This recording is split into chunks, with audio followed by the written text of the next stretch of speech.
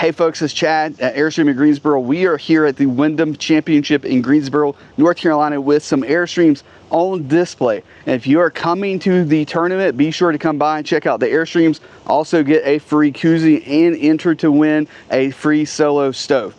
Hope to see you guys here. Live riveted and we'll talk soon. Thanks. Bye.